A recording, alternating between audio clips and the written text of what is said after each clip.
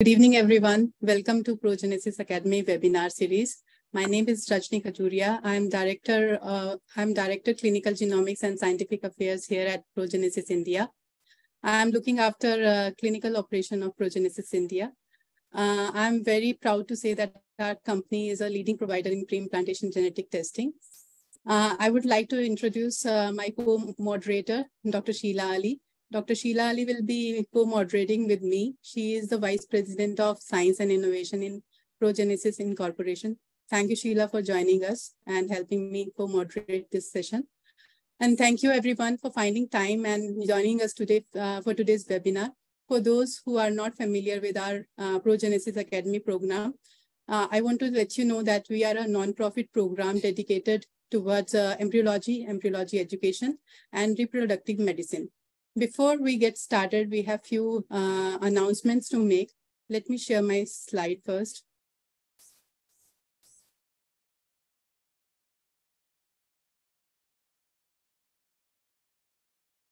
Sheila, let me know once you see the slide. Yes, we're able to see your slide. If you'll go into slide uh, presentation mode, please. Yes. Yeah. So before we get started, uh, we have few announcements to make. Uh, it gives me immense pleasure to announce that we are organizing our first annual symposium, uh, GENES, which is Genetic Embryology and Endocrinology Symposium, which will held between June 1 to 3, 2023 at Omni San Diego Hotel, California, USA. Registration of symposium is live and early bird pricing will end in May. So go and visit our website and register for the same. And you can contact us through email for getting more information. And there is another important announcement that we will be announcing name of two lucky winners, which we will select randomly from the attendees for, and the prize will be a complimentary registration for our annual symposium. And uh, so stay tuned to see who is the lucky ones. Now coming back to the webinar schedule, please note that uh, we have, you will have the opportunity to submit your question by typing in the QA pane of the control panel. You may also send your question at the time during the presentation. We will address them during the QA session at the end of presentation. Today, we are having a presentation on a very important topic, fertility preservation in young women with breast cancer. I would now like to introduce our eminent speaker of today's webinar. It's my privilege uh, to welcome and introduce Dr. Nalini Kaul Mahajan. Dr. Nalini uh, carries Dr. Nalini doesn't need any introduction, actually. She's a senior consultant uh, of reproductive medicine. She's director of Mother and Child Hospital, Delhi. She is president of Asian Society of Fertility Preservation, and she is a founder president of Fertility Pre Preservation Society of India. She's also a board member of International Society of Fertility Preservation. She was holding a uh, post of president uh, in previous year for Indian Fertility Society. Dr. Nalini is also a chief editor of the Onco Fertility Journal, and she has been a recipient of gold medal prize, uh, President's Gold Medal Prize, and many other gold medals in her name. Dr. Nalini was conferred with Lifetime Achievement Award uh, by Indian Fertility Society in year 2021. Dr. Nalini's research interests are endometrial receptivity, fertility preservation, regenerative medicine, and Dr. Nalini has multiple uh, publication in national and international peer-reviewed journal, and she has many book chapters in different books of reproductive medicines. So, uh, Dr. Nalini, now I hand over it to you, and you can share your presentation and start the presentation. Thank you very much, Rajni, for this long introduction and very kind introduction. And thank you, Progenesis, for inviting me to uh, give this lecture on or talk to you about really um, fertility preservation in breast cancer patients. can you uh, look, can you see my screen? Is it visible? Yes, we can see your screen. You can see the screen, okay. So this is, a, you know, become an increasingly important um, topic now. And, uh, you know, through the uh, lecture, I will look at various aspects of what are the risks uh, in to fertility in breast cancer. Is there a special need for BRCA mutation patients? What are the options we have? You know, what is the safety aspect? So you know, one by one, I'll look into it and briefly give you an overview of, uh, you know, the importance and the possibilities of fertility preservation in breast cancer patients. As you can see, breast cancer is the most commonly diagnosed cancer, female cancer across the globe. In India, what we find is that the younger women, women under 35, the incidence of breast cancer is more than in the West and more of triple receptor negative cancers, which are more aggressive and really require very heavy uh, chemotherapy. So, uh, you know, a lot of uh, patients also in the developing countries are detected much later, and therefore the survivorship in the developing world is a little lower than survivorship in the developed countries, where it is almost 90% uh, in the US and Australia. So definitely these women who survive breast cancer, who have not yet completed their family, need uh, you know, something to uh, help them on, help them to achieve their family after their breast cancer treatment is over. The first question that we really need to ask is, does breast cancer pose a risk to fertility at all? And well, you can see that breast cancer treatment, uh, you know, it involves surgery, it involves chemotherapy and radiotherapy. Chemotherapy can be both adjuvant and neoadjuvant, and a majority of these people will face fertility issues after chemotherapy. Now, what happens with chemotherapy is that we, you know, chemotherapy attract, uh, attacks the ovary in both uh, directly and indirectly.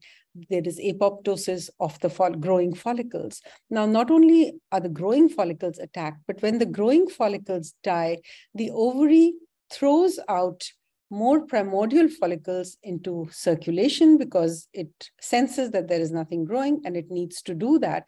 And because of that, more and more primordial follicles which come into the growing pool get attacked and die. And therefore, you have a huge reduction in oocyte quantity.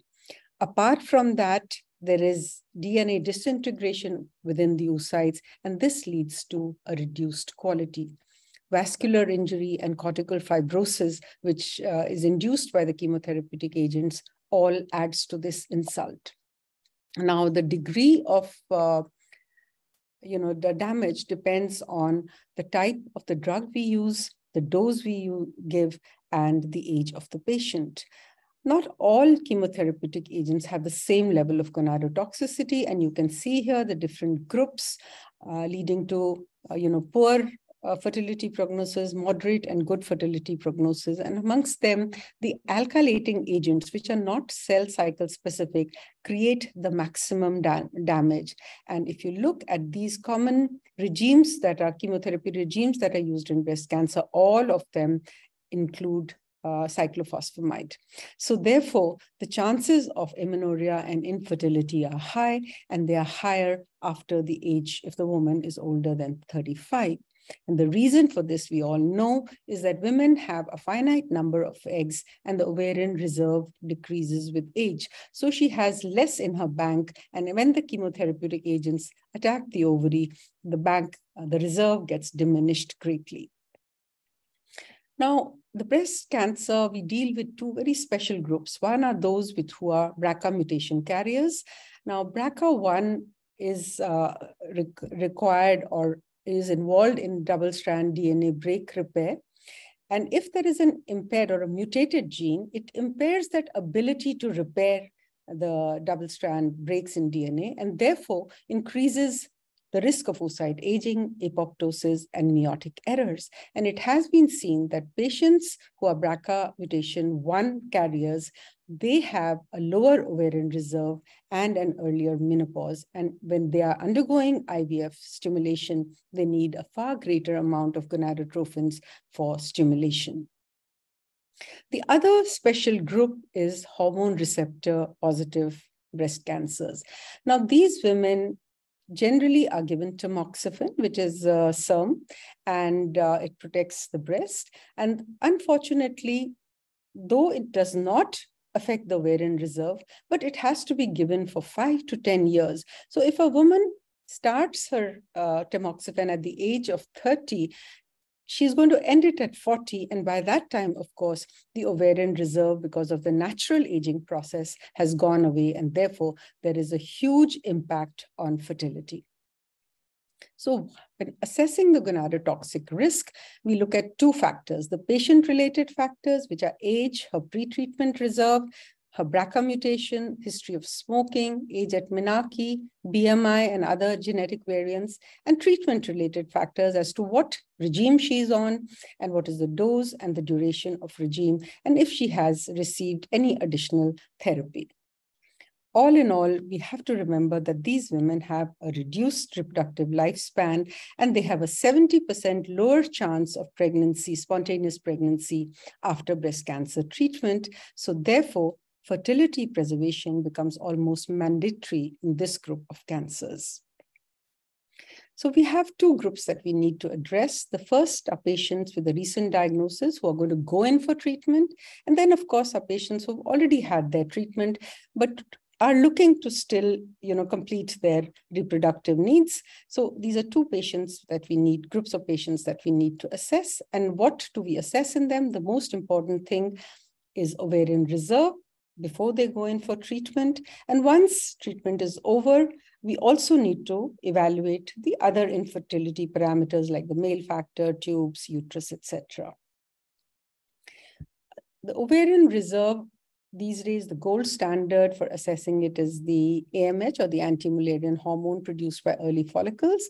And the other important parameter is the antral follicle count, which is you know, an ultrasound based uh, test that we do, we count the number of antral follicles in the early follicular phase. That is the best time to do it, though we can roughly estimate at any time of the cycle. The normal ovarian reserve is supposed to be more than two nanograms per mil. When chemotherapy is given, if you look at the AMH, it just immediately crashes after AMH, uh, after chemotherapy is given, showing that you know the follicles have undergone apoptosis. However, there is a recovery over a period of almost 12 months or sometimes even longer than that. But it depends, the recovery really depends on what the AMH has been before. If they've had a good ovarian reserve or an AMH over two nanograms, the recovery will be better. But if the AMH has been lower to start with, then the recovery rate is very low at about 2.6% per month. So having looked at these basic assessments, let's see what are the strategies for fertility preservation and protection. Now, the protective, on the protective aspect, we have GnRH analog, and we're going to talk about it. It's a very important aspect of uh, fertility protection in breast cancer patients. And on the definitive front, we have preservation of gametes and ovarian tissue. So you can preserve oocytes, you can preserve embryos, you can preserve ovarian tissue, and you can also preserve immature uh, oocytes. So how do GnRH analogs work? How do they protect the ovary? They actually mimic the prepubertal status by depressing the FSH and LH. That means there will be no growing follicles in the ovary and the chemotherapeutic agents will not be able to attack as much because they attack the growing follicles more than they attack the primordial follicles. So that is the main mechanism by which they work. It is believed that they also work directly on the ovary by you know reducing the or initiating the anti-apoptotic ovarian molecules and also reduce the uterine ovarian perfusion. If there is low perfusion, the exposure to chemotherapy becomes reduced and therefore less chances of action on the ovary. So these are the proposed mechanisms of action. And what has been seen and in the, presented in this uh, meta-analysis by Lambertini in 2018, when, in which he took a whole number of trials and uh, uh, you know, systemic reviews, and it was seen that there is evidence for efficacy and safety of temporary ovarian suppression. It reduces the likelihood of chemotherapy-induced premature ovarian insufficiency and also may pretend, potentially improve future fertility in premenopausal patients with early breast cancer. And this is across the board, both for hormone receptive positive and hormone receptive negative cancers. So today, the guidelines say that we must give uh, GnRH agonist in all premenopausal breast cancer patients who are going to receive chemotherapy. However, it is just protection and not preservation. We cannot tell them that, okay, you need not preserve your uh, gametes, uh, this is good enough. It isn't good enough. It may delay menopause. It may give them some amount of protection, but it cannot really offer great chances of pregnancy later. We start the GnRH agonist a week before chemotherapy to avoid the flare effect of the agonist and continue it until two weeks after completion of chemotherapy. And of course, the risk of such a prolonged GnRH agonist administration is a decrease in bone density. So having done that, if we are offering fertility preservation to the patients, we have to evaluate them prior to doing that. And for that, the first and most important thing is to evaluate the oncological status. We must know the diagnosis, the staging, most importantly, what is the survival rate for that patient and recurrence rate. No point in offering fertility preservation to a patient where the survival rate is not going to be good. The next important step is fertility risk assessment, which again, you look at the disease, treatment protocol, the age, the ovarian reserve, because the success of procedures depends on the reserve, whether they are estrogen sensitive tumors, because your drugs are going to be tailored to that.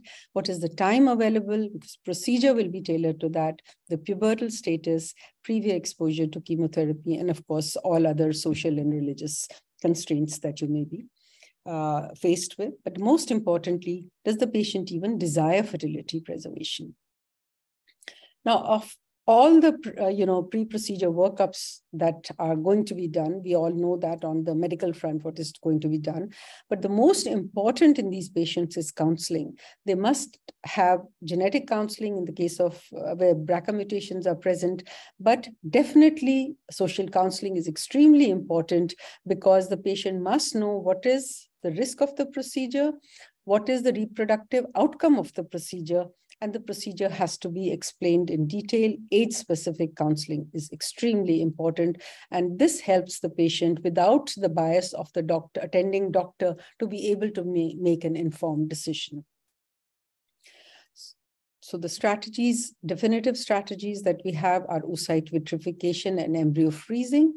Now, both that means both oocytes or eggs and embryos can be frozen. Of course, for embryo freezing, we need a husband or a partner to provide the semen, and ovarian stimulation is required in both the cases.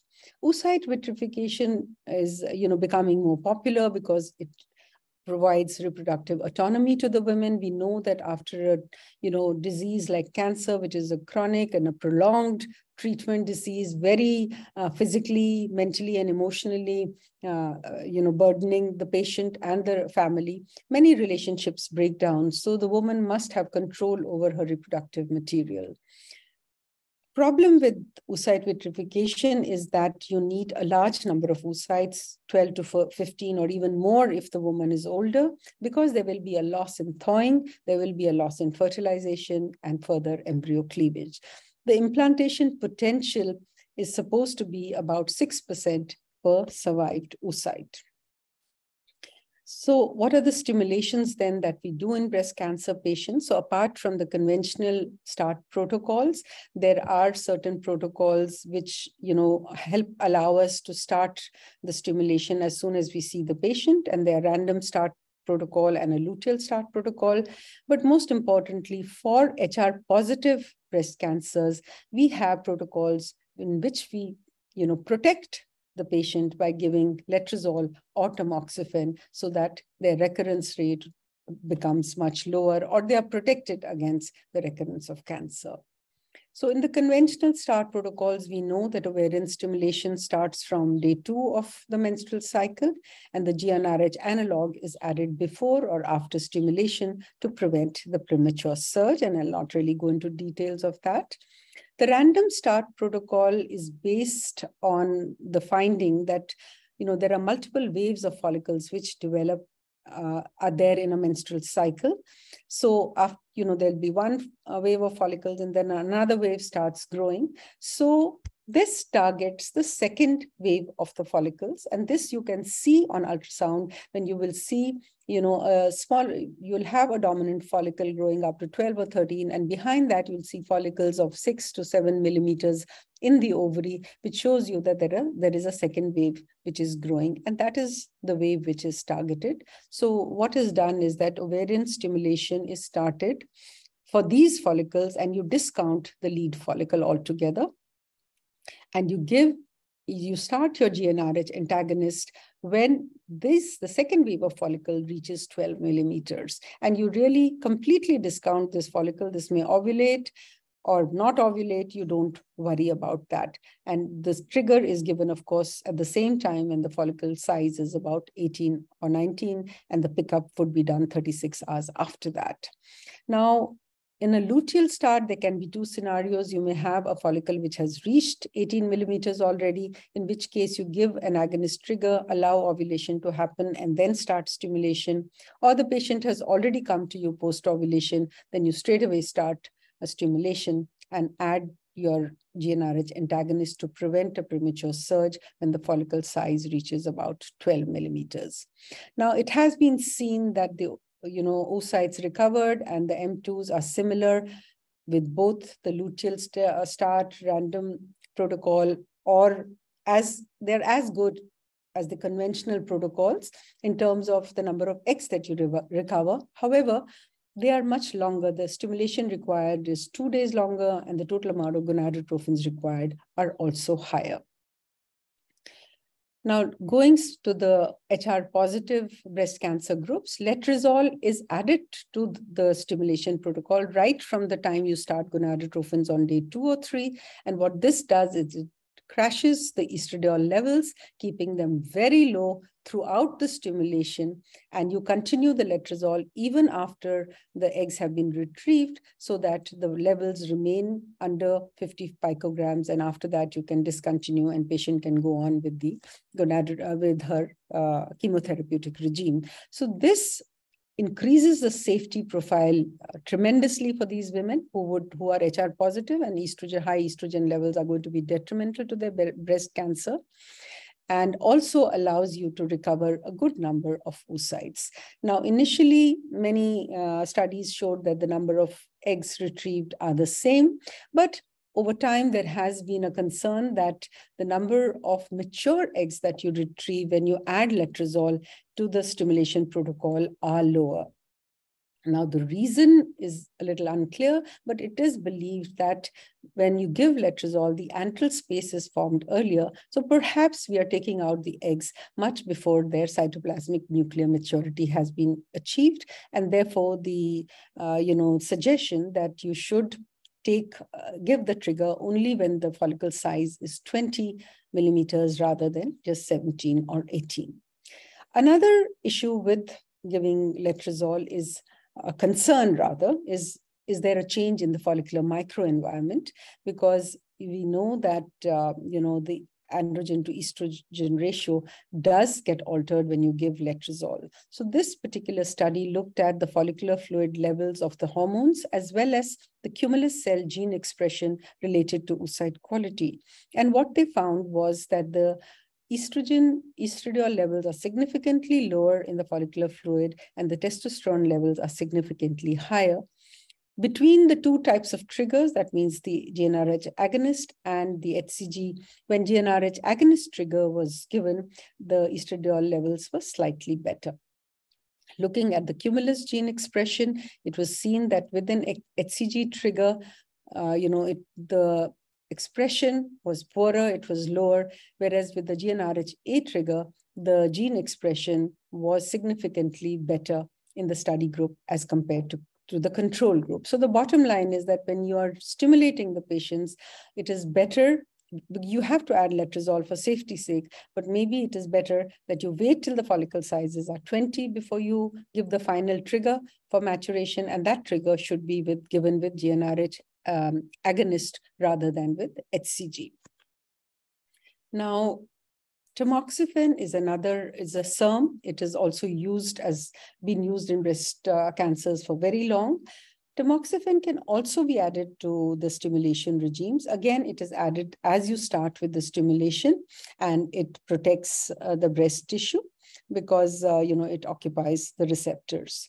Now, very uh, somehow this has not become as popular as letrozole, but one of the earliest studies with it, uh, which was done by Professor Meirow, showed that giving tamoxifen was, you know, improved the safety profile. It was, they did a three to 10 year follow up, and these patients did not show any increased risk of recurrence or late mortality. So it's a good drug to give because you can then carry it on in the HR positive patients because they would probably be on tamoxifen even after, uh, after your, uh, you know, fertility preservation has been done. So far as the trigger is concerned, the choice remains GnRH agonist, one, because of the safety profile, two, as I just said, that the follicular fluid uh, micro, uh, the parameters are much better, and uh, the number of M2s, some people say, are also, or the mature oocytes are also uh, better with giving a GnRH agonist trigger. When we talk about fertility preservation, we are always wanting to maximize the yield and uh, so people think of doing two uh, stimulations. And now uh, one of the stimulation protocols that is being done is called the dual stim protocol. That means you retrieve, you stimulate the ovary, retrieve the eggs, wait for 48 hours or 72 hours, and then stimulate again in the luteal phase and collect or increase the number of oocytes that you can collect for fertility preservation. It is uh, physically a cumbersome protocol, but uh, well, it can be done. And uh, where you have your, you know, you want to maximize your numbers, uh, it can definitely be done without increasing any uh, risk to the patient. Now, as I said, the probability of achieving pregnancy in IVF is related to oocyte numbers. So one of the concerns has been does cancer per se affect uh, the oocyte numbers? Well, according to this, uh, you know, study by Turan et al. in 2018, which looked at, you know, oocyte numbers in the different patients with different cancer diagnoses. And what they found was that in breast cancer patients, uh, you know, the cancer diagnosis per se does not change the number of mature oocytes or the total oocytes that would be recovered as compared to the non-cancer group. But definitely patients with BRCA mutation, BRCA1 mutation, would be those where we might expect a lower number of oocytes. So looking specifically at the BRCA mutations, a comparison of BRCA1, BRCA2, and uh, a control group, it was seen that the BRCA1 patients showed lower AMH values, that means a lower reserve. So you got lower number of mature oocytes from them, and they needed higher doses of gonadotropins. So definitely amongst the BRCA mutation group, the BRCA1 uh, those carrying BRCA1 mutation are the ones we need to look out for because their ovarian reserve is much lower and therefore they are not going to do as well in fertility preservation. The safety profile has been looked at very extensively, and this Swedish-based uh, register-based cohort study showed that the relapse rate is in these patients who have gone undergone fertility preservation was the same as the unexposed controls. That means those breast cancer patients who had not undergone ovarian stimulation for fertility preservation. And this re these results remain unchanged after adjustment for tumor size, ER status, lymph nodes, etc. So it's very reassuring to know that yes, you can offer fertility preservation very safely to these young women who have uh, unfortunately got breast cancer. Going on to the newer strategies, we have ovarian tissue cryopreservation, and this is, you know, you can the only thing that you can offer to prepubertal girls, and it is also uh, offered where neoadjuvant therapies are being given because they're, you know, they are not going to wait to give the chemotherapy because of the increased risk of uh, increased staging of the cancer. So chemotherapy has to be given so you can, you know, preserve ovarian tissue and then get on with your chemotherapy. Doesn't require 12 to 14 days as we do for ovarian stimulation. And it can also be done after one dose of chemotherapy has been given, which you definitely cannot do when with oocyte or embryo freezing. You can combine it with the surgery that the patient is already undergoing for breast However, it is not advised for women with a low ovarian reserve or for older women where the basic, you know, number of uh, follicles, primordial follicles in the ovary are going to be lower. In vitro maturation is an innovative therapy. Unfortunately, it requires very highly skilled embryologists because once you retrieve the immature oocytes, the maturation rate is 50% in the best of hands. So at the moment, there is still a long way to go over there. And uh, just a word about ovarian tissue cryopreservation. What we do is the cortex is, uh, you know, taken, the medulla is separated. So thin strips of the ovarian tissue are either, uh, you know, cryopreserved through slow freezing or vitrification. And the advantage is that when you transplant them, you can transplant, you know, two or three strips at a time or five strips at a time, and you have a whole lot of strips. So the reproductive window is greatly increased. And, uh, you know, it has been shown to be very successful. The pregnancy rates are almost up to 35% with ovarian tissue transplantation. As more and more, uh, you know, you gain experience with the procedure, it is seen to be very, very fruitful because not only does it uh, you know, allow reproductive window to increase, but it also alleviates menopausal symptoms. So uh, this is something that is coming up in a very big way now. The longevity of the graft is about seven to 10 years. And as I said before, it cannot be offered when the AMH is low, like below 0.5 nanograms, or the age is over 36. It is not really advocated. Problem with uh, is of transplantation because we have to worry when we are transplanting this ovarian tissue of reimplanting cancer cells. So we have to look at the cancers where there is high risk of uh, ovarian metastasis. And you can see these are leukemias and neuroblastomas, a very high risk group, and ovarian tissue freezing and transplantation is not at all advocated there. But breast cancer is a low risk area, and you can do this. Now, in patients with BRCA mutation and hormone receptive positive patients, ovarian tissue transplantation is done heterotrophic. That means it can be done under the skin of the arm or at a heterotrophic site where after, you know, pregnancy is achieved, the tissue can be removed and, uh, you know, does not pose a risk for the patient. Again, the first and important thing that we all have to understand that pregnancy per se does not increase the risk of cancer rec recurrence or affect the disease-free survival or the overall survival for breast cancer patients. And therefore, uh, you know, it, we can very, very safely tell them that they can preserve their uh, oocytes or embryos and then go on to having a baby without worrying about the risk of recurrence. So women who do preserve their oocytes or tissue, they have a 2.3 times higher chance of giving birth than those who do not. And, uh, you know, as I said, the live birth rates are about 22 to 45% with these frozen cryopreserved oocytes and embryos. Unfortunately, the utilization rate is rather low. It's about 7 to 10%, though more and more women are now coming back to get their embryos and oocytes, uh, you know, used. The problem is, and as we talked before about does cancer per se affect fertility? Now we can see this when a comparison was made between elect those who had frozen their oocytes electively were vis-a-vis women who had done it for oncofertility, the oocyte survival post-thaw was lower in the cancer patient, which means definitely the ovarian function, maybe the cytokines, the debility, all these effect do affect the oocyte to some extent. And that is why the clinical pregnancy rate and the live birth rates are significantly lower than women who don't have cancer. Women with BRCA mutation, again, a special group, PGT should be offered to these uh, patients. The embryo can be checked for BRCA mutation before transplanting. Risk to offspring is another very common question that you're asked. Will my child carry the same risk of cancer? Well, one, that it does not carry the risk of congenital anomalies higher than that of the general population. We don't know as yet, uh, you know, uh, the long-term effects of freezing for a very long time, but so far, uh, you know, we have not seen an increased aneuploidy rate.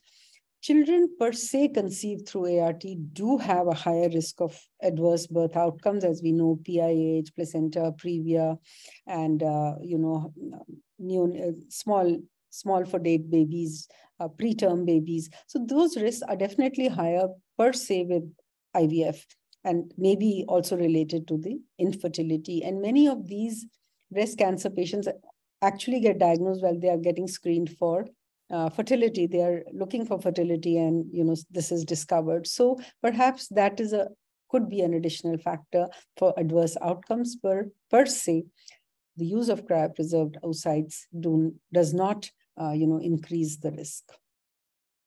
So uh, to summarize, you have a newly diagnosed woman with early breast cancer. You counsel. If she doesn't want to go for fertility preservation, let her be.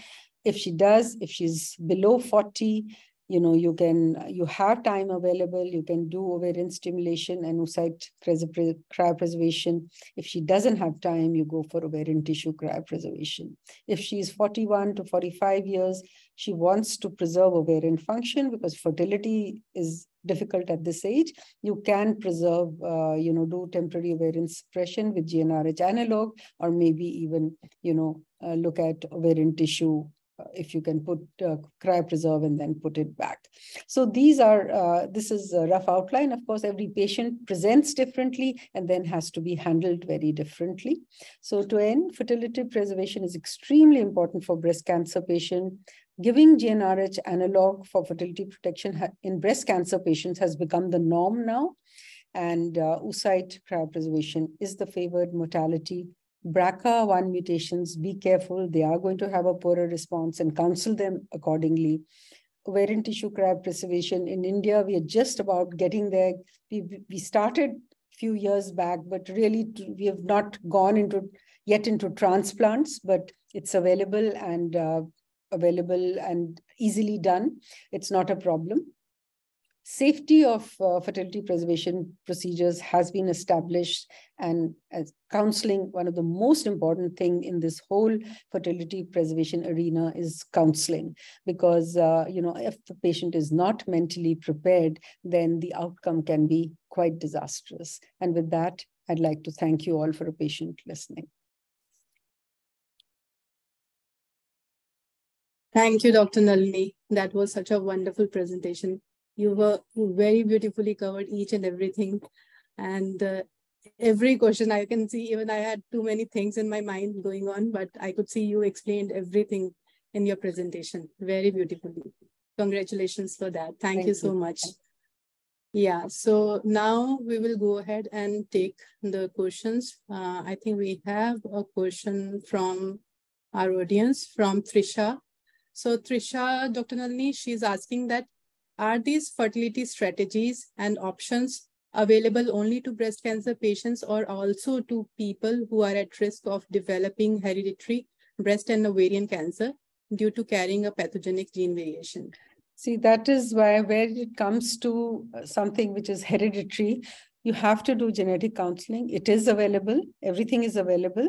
But then you will go according to uh, you know the protocol of what when you're putting it back doing the procedure is no problem at all. But when you're replacing whether it's an embryo if you can genetically screen it before replacing it so that the patients don't that their child doesn't have to go through the same kind of trauma as they did definitely you can do it. For ovarian tissue cryopreservation again you have to see where ovarian risk of ovarian malignancy is high, there heterotrophic transplant can be done. You, you cannot put it back into the ovary because that would increase uh, risk very much for the patient. When you do heterotrophic transplant, basically IVF has to be done because when you're stimulating from here, the tube cannot pick up the uh, egg. So you have to do an IVF and you retrieve the eggs and you implant the embryo in the uterus and once you know that work is done then that tissue can be removed so the patient uh, is not at risk.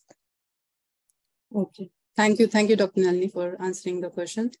So next question is from my side uh, dr nalini which i wanted to ask you that as we can say that uh, you you said that that in india we are just going over there so we, I think in Western uh, standards, things were going, uh, doing, they were doing it very mm, uh, at a, like before us.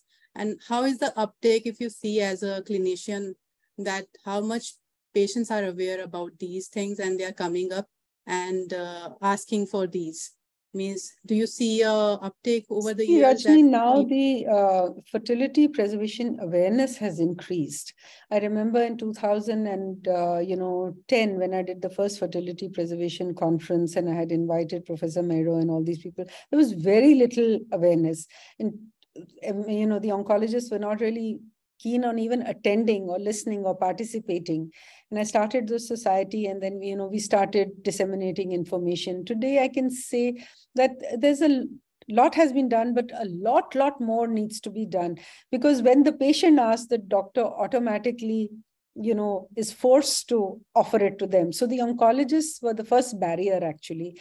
They are really changing. The younger oncologists are now becoming uh, you know very proactive about fertility preservation. And i think i receive a call practically every day from somebody or the other. They are becoming proactive and taking to it. But uh, in terms of uh, you know procedure and where the patients should have it done, they have to be very careful because IVF can be offered by anybody. But we have to remember that this is long term cryopreservation. So it should not be done in centers which don't have that facility or the stability to keep that tissue or the gametes for that long. Because if you don't preserve them, then the patient, for the patient, that's all that she has. So, you know, you have to choose well when you're, uh, you know, going for fertility preservation, especially in onco. Okay, okay. So then, Dr. Nalini, as you said, that patient has to be aware of, they need to know some. So what do you recommend as a clinician to the patient that these are the parameters they should look forward for going to the fertility clinic? Because, you know, in they India, should, we see yeah, now yeah, yeah, we have, have a, a, huge number of clinics. And yeah, you have a clinic at every corner, but they need to yes. look at something which has an established background. They need to know and understand that they there's a good embryology lab because that's where the preservation is going to happen. And if you know there is no stability over there then there is danger of uh, patients losing their tissue or gametes. So that is something that they need to look at that the embryology setup in an ivf center is good and the center is stable. You know like so many centers yeah. are popping up now. So if you know they had their uh, they preserved oocytes or what's happened to that? We don't know yeah. And with the government will not allowing for shifting of embryos or oocytes or gametes, it's become a problem. Yeah, I agree. I agree. Completely agree.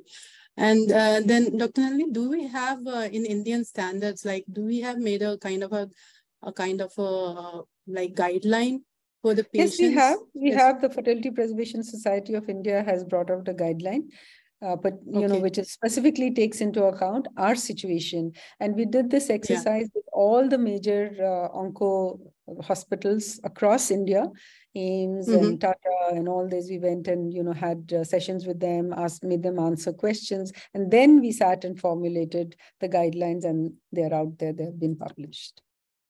That's that's really great. I will get that from you and i will try to even uh, raise awareness from my side too. Yeah. Thank yeah. you so much yeah, and the next question I have is that is it safe to perform a control ovarian stimulation for oocyte or embryo cryopreservation in patients who are candidate to neoadjuvant systematic therapy?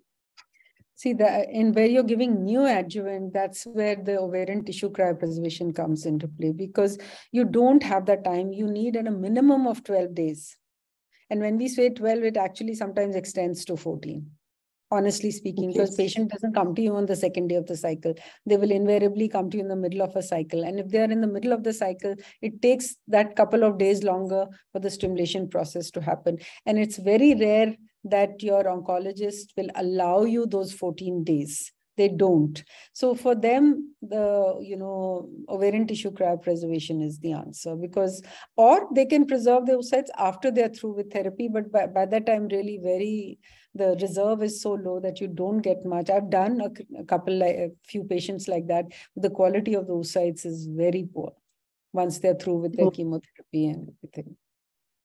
So you okay. have to wait okay. six months after chemotherapy is over so that the lot of growing follicles, which takes about six months, that goes off, and a fresh lot, which has not been exposed to chemotherapy, comes in, and then you can, mm-hmm. you know, okay, all of those. Noted. Yes. Thank you. Thank you so much.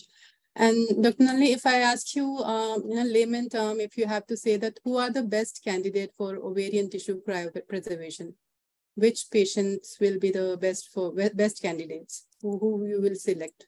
See, in breast cancer, actually, uh, ovarian tissue cryopreservation was not very popular, except that when neoadjuvant therapy is has to be given. Uh, but um, now, because ovarian tissue, you know, now so much time has elapsed since this pro procedure came in, it's no longer considered experimental. It's now come into the mainstream. The pregnancy rates are almost like 20, 32% with the tissue, replaced tissue. And it's a very prolonged reproductive window. So maybe more, you know, the, the trend will be also to freeze for breast cancer. But at the moment, they go, there is more of oocyte and embryo freezing for breast cancer patients rather than ovarian tissue. So ovarian tissue is prepubertal girls, neoadjuvant chemotherapy, and, uh, you know, in other situations where you may not be able to, you know, stimulate the patient. Okay. Okay, thank you, Dr. Nalini. So, and my another question to you is when, like you have uh, recommended in your presentation that when uh, it's important that patients should go for PGTM for uh, before starting with this thing. So, what is your uh, uh, like experience that when you have these patients, do they agree to go for PGTM or not? Actually, I have not replaced an embryo for a BRCA uh, mutation carrier. In fact, the you know the stimulation was so poor, oocyte quality was so poor that you know we didn't even reach that stage. But uh, more and more patients are now accepting PGTM. In fact, they ask for it. You know, they Google all these things and they come and ask for it. And I'm not talking of onco patients; it's more the the non-oncology patients. But once the mm-hmm. information mm -hmm. is out there people do start, uh, you know, asking. Okay, okay. And the next question comes from Sheila. Sheila want to ask that what are the concerns of germline gamete exposure exposure to chemotherapy and what are the success rate of IVF treatment post chemotherapy in patients? Yeah, that, that's, that's, a wonderful question. No, no. Uh, so sorry if I want to sort of clarify.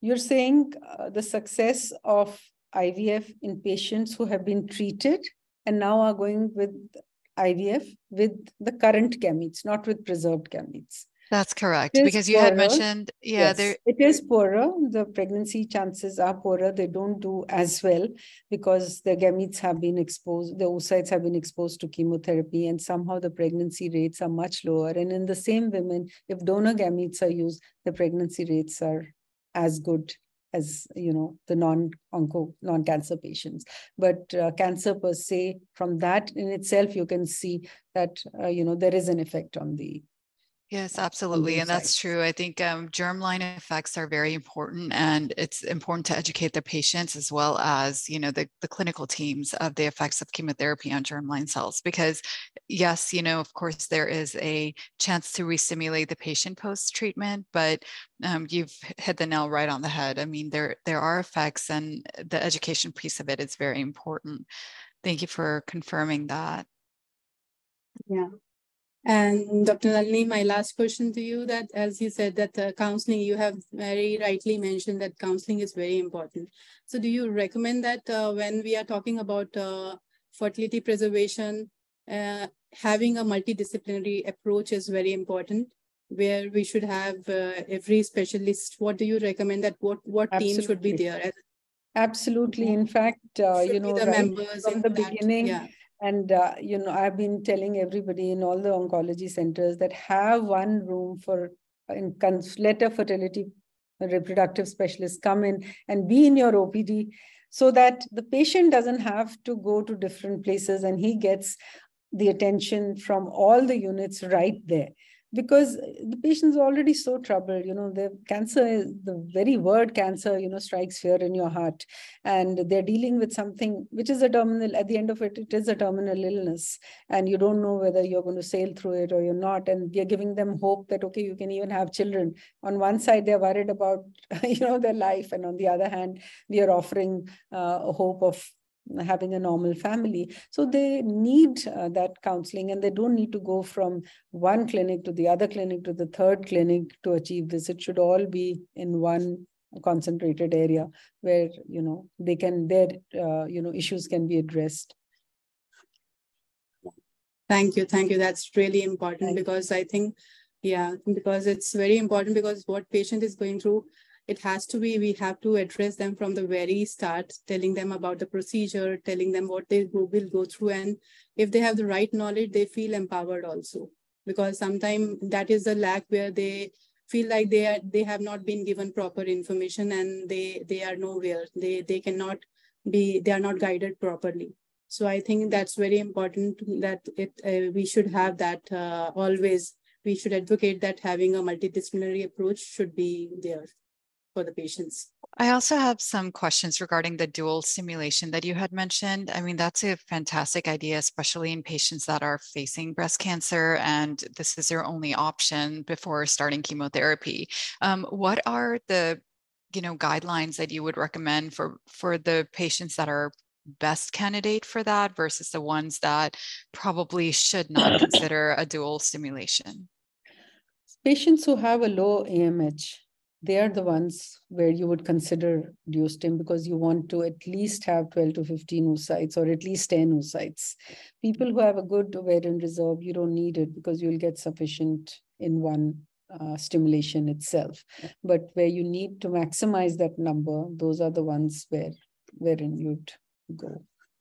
So how about those it's clinics physically that... challenging, let me tell you. Yeah. Oh, I can only. It looks very imagine. nice on paper, but when the patient has to go through injections for almost four weeks at a stretch, it is physically challenging. And and patients may not have that time, right? That's the other thing, yeah. depending on the stage of their cancer. The other um, concern here In is that you cancer, mentioned the advantage is that between the time they have their surgery and they start chemotherapy, they have a good four to six weeks. So they can have even two stimulations. So from that standpoint, breast cancer patients have an advantage, which other cancer patients may not. Yes, you're right about yeah. that. And then you mentioned um, the skill level and the success rates of the IVF centers themselves. So, do you believe that the, this could be considered by the clinicians knowing full well what their oocyte warming rates are or their oocyte frozen oocyte recovery rates are? Yes, it's it's very very important because uh, you know uh, you are doing a disservice to the patient if you're going to take them up without knowing is your embryology lab uh, up to it. If on thawing what is the survival rate? What is the fertilization rate? If that has not been standardized in your lab i personally i think it is just very unfair uh, almost criminal actually to offer for oocyte freezing in, so just, in that particular setting yes, I, I agree. And I think it's very important. Just one last question from me before we go on to the audience questions is that um, do you, eh, do you, would you say that this is common practice for clinicians during counseling of the patient and de determining what course of treatment to take to provide them the success rates of their clinics? Mm, I really don't know commonly. The patients have started asking now. So, mm-hmm. you know, it is on websites, but how honestly people present it is, uh, you know, entirely one's own, one's conscience. Yeah. People can give it and it may not be, but be the truth. So that is something which is difficult to determine. Yes. Yeah. Dr. Rajni, I think we have a couple more questions from the audience. Okay. Uh, Sheila, I could not see. I could uh, only see. So, yep, it's in the Q and A. One second. Yeah. Yes. So it's uh, uh Dr. Nalini Sayali is here. Dr. Sayali, mm-hmm. and uh, she want to convey that it's an honor to listen to you Mm-hmm. And she has worked in onco-fertility unit in Lurie Center under Dr. Teresa Wood, Woodruff. In India, mm-hmm. I have mm-hmm. done about four ovarian tissue vitrifications. My question is for PGTM in breast cancer patients. BRCA mutations shared by Indian patients are not similar to their other ethnicity peers. How do we go ahead with PGTM? No, that that is one of the problems in India. Not everybody is doing the BRCA mutations for their patients. In fact, of all the breast cancer patients that I have done pre, uh, you know, cryopreservation for, I think only 10% had a BRCA mutation done. And this despite my asking them, many patients refuse. They say, we don't want to know.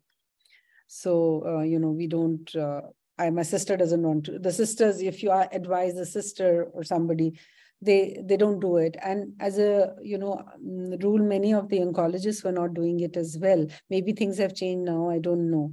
So unless you have that history obviously how can you do a pgtm you can't do unless you know what is the mutation and what you have to look for.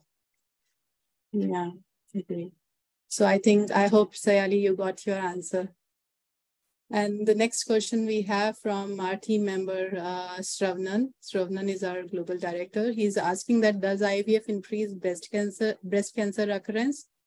I mean, the exp excessive expression of gene can cause cancer. Have you noticed this pattern in the patients? Uh, see at the moment whatever studies are there do not show that ovarian stimulation of in, increases any kind of cancer. And this has been studied a lot because it has been a concern. Your hormone levels go up estrogens go up progesterones go up. So and multiple repeated uh, you know stimulations happen. So initially there was a concern about breast cancer with people who have been exposed to a lot of clomiphene citrate more than 12 cycles of clomiphene clomiphene citrate, also uh, ovarian cancers. There has there have always been concerns for these two, but we don't have any conclusive evidence of causality at the moment. There isn't. Of course, caution always remains, but at the moment we don't have evidence to suggest that it does. Okay. Okay. Thank you. Thank you, Dr. Nalini. So we have, uh, yeah, that that's it. That's I it. think uh, we have uh, covered all the questions. Sheila, can you see anything else? Nope, we no. we've got them all. Yeah. yeah. Okay. Yeah. Thank yeah. you. So Thank much. you, Dr. Nalini. Thank you. Thank you for answering all the questions and for great discussion. Thank you Thank for your valuable time and experience. Thank you so much for the invitation and uh, congratulations. Yeah, you have shared with us. Yeah. It certainly you, was an honor so to have you. Absolutely. Yeah. Yeah. Okay. Dr. Rajni, would you like to mention um, yeah, that's what I'm going to. So as we uh, announced in the beginning of the uh, webinar that we will be randomly selecting two lucky winners from attendee list today. So Sheila, uh, so now it's the time to announce the name. Sheila, can we have the names? Yes, absolutely. So our first winner is Yukti Burja. Um, and I must have said Yukti Bhardwaj. Perfect. Yeah. And then our second winner is going to be um, Khatija Badri. So congratulations Khadija, to our but, winners. Yeah. So congratulations, Yukti and uh, Khadija. So uh, we will, our team will contact you soon to just have further detail and share how you can claim the prize. And congratulations once again to both of you. So before we wrap up, we have an, one more announcement to make. We will be having another uh, webinar hosted by Progenesis USA on Wednesday, May 10 at 3 p.m. PST time on a very relevant topic, which will be moderated by Dr. Sheila on role of medical director in lab operations. So we invite all of you to join us on May 10th for this webinar. And with this, we are coming to the end of our webinar. I would like to extend my gratitude and appreciation to everyone for being with us today. We hope you have learned and enjoyed the session thoroughly. Thank you and wishing you all a, uh, a very wonderful day ahead. Have a Thank good day. you. Thank you. Thanks a lot. Thank you. Thank you. Bye-bye. Bye. Good evening, Bye. everyone. Bye.